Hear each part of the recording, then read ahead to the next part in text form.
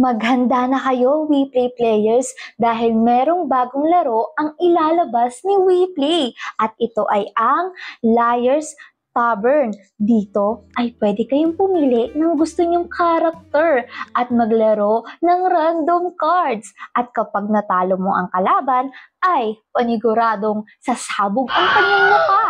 Excited ka na ba? Ako din! Abangan!